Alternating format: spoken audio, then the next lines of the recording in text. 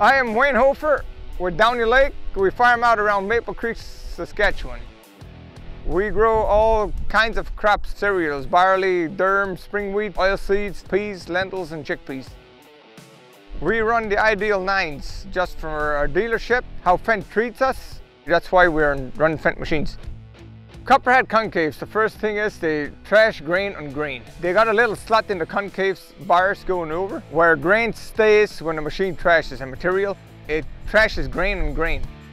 Putting the filler plates in is actually very easy to do. Open up the side of the machine, you slide them in in front, they lock one clip, put a pin in and away you go. You can change them out with like two minutes.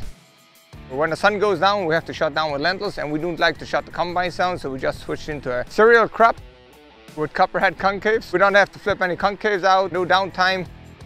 Copperhead concaves, they are a good investment to our farm. They're a little more money than the OEM ones, but the performance you get out of them and the grain quality, they'll be paying off in no time.